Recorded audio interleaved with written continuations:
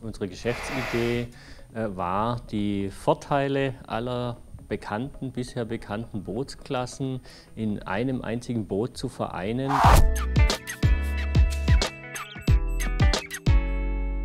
In einem Urlaub sind wir mit dem Dingi zwischen zwei Inseln durch eine Kreuzsee gefahren. Die war ziemlich unangenehm und heftig. Also da hat es richtig patsch, patsch die ganze Zeit gemacht und wir waren danach bis auf die Knochen nass.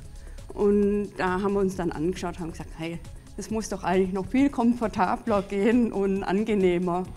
Das war eigentlich der Impuls für diese Idee. Wir setzen eine Vision um, da steckt eine Mission dahinter. Und wir sind einfach mit Herzblut dabei und das ist das Allerschönste. Wir haben automotive Qualitätsprozesse zu vereinen mit Luftfahrttechnologie, mit Marinetechnologie, mit Renntechnologie. Das Fahrzeug ist äußerst komplex. Da gibt es wahnsinnig viele Herausforderungen, die es zu meistern gilt.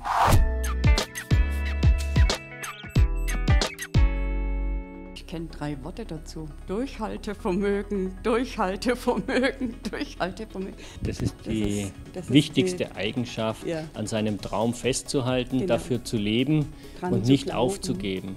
Daran ja. zu glauben und auch wenn schwere Zeiten kommen, durchzuhalten und weiterzumachen.